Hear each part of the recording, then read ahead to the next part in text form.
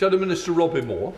Thank you, Mr Speaker. Could the Secretary of State guarantee that in his efforts to hold water companies to account, no offer of a regulatory easement will be provided, i.e. no permission to lower standards, relax environmental permits or reduced agreed levels of investment will be provided to any water company, no matter their financial circumstances, by the government or the regulator? It was very disappointing uh, when